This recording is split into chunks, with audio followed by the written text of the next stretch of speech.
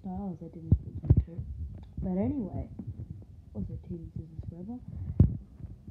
I think that this is going to be where the Splatoon 3 DLC takes place.